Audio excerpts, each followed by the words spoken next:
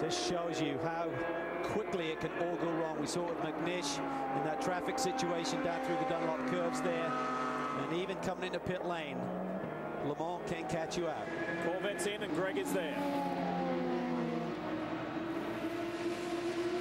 This time it is the number 73. They peel off one of the windshield strips. They also peel off the same deal, the covers off of the lights at this stage. Obviously, ought to protect it until they really need the bright lights. And the driver change as Garcia is out.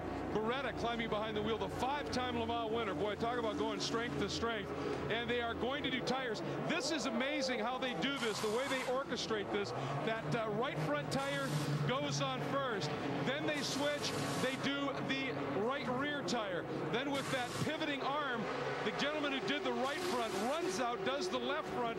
Then they will rotate around, take care of that left rear. They've got this down to 18 seconds at one point. They said, we target 20. If we get 20 and if we do a 40 second stop with fuel, we're good. Oh, a little slow on the restart. Bravo. Oh, Ollie is shaking his head. The No engine is not No. coming to life. The lights are flashing. He is trying to trigger it. He, now, it, now we've got the it is fired and he is underway. The pit stop was executed to perfection. However, the restart cost them a good six or seven seconds. So not a good time down here. Again, the pit stop done very well, but problems getting that restarted.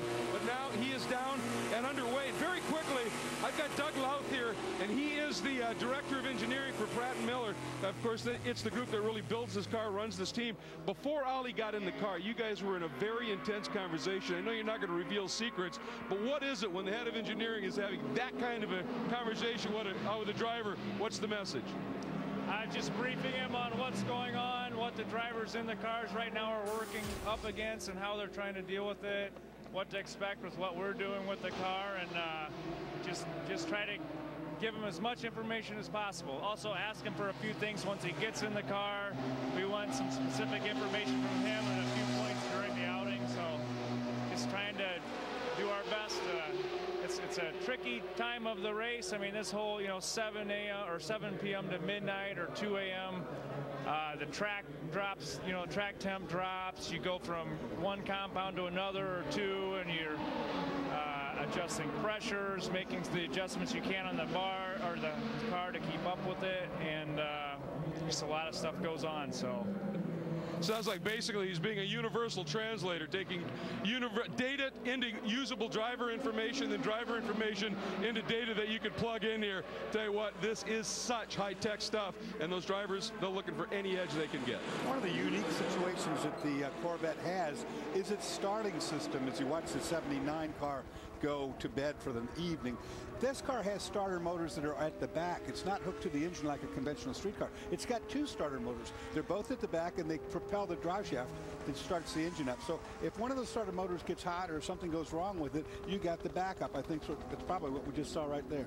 Well, the Lotus Jet Alliance, Lotus Evora is coming to pit road. Couldn't quite see if that was the 64 or 65. And just to finalise that point on the 79, that's the trio of Sam Hancock, Simon Dolan and Chris Buncombe in the Jota Aston Martin. And whenever you see the garage door come down, that is game over here at Le Mans.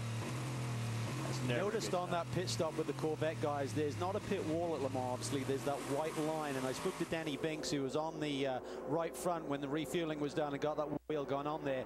They found that just being like 12 inches back with the wheel gun was costing them a second. So they had the wheel gun right on an imaginary plane with that white line, having it that close, just being able to immediately get it on to that right side really made a tremendous difference. This is a hurt engine, boys. Uh, it looks like maybe on one bank only, broken piston or something. I would expect that's puking oil through the header system. It's definitely coming out the tailpipe, so you know it's engine. It's the 64 Lotus, and by their own admission, if they could see the checkered flag here at Le Mans, that was going to be a victory in itself.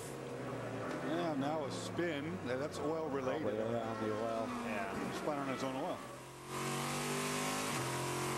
He's coming back to that pit stop on the most recent pit stop with Olivier Beretta there on the uh, in the Corvette. Can't afford to lose any time here. You know why?